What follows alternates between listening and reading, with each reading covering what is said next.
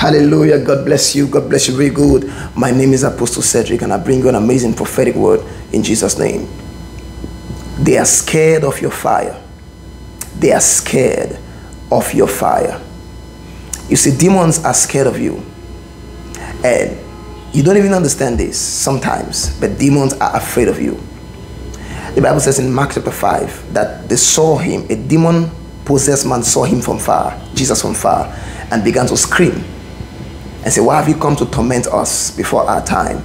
There is something about you that makes demons uncomfortable. There's something about you that makes devils to flee. At your presence, they scatter because you carry the presence of the Lord Jesus Christ Himself. You carry the Holy Ghost in you. They are scared of your fire. I want you to keep the fire burning. The Bible says that let the altar never lack fire. It doesn't matter what you lack, don't lack the fire. That is your security system against the attack of the enemy. And that's your bailout principle in the kingdom of our God. I hope this prophetic word met you well. God bless you and keep you. I'm praying for you. Bye bye.